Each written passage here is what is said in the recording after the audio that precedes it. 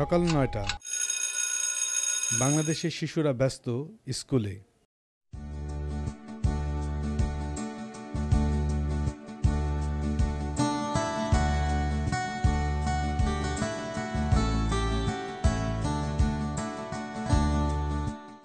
চলুন দেখি মোহাম্মদপুর জেনেভা ক্যাম্পে শিশুরা কি করছে।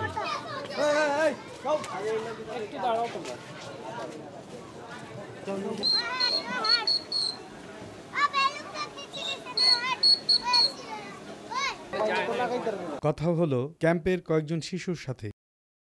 আমার নাম রানি আমি স্কুলে যাই না। আমরা দুই ভাই এক বোন।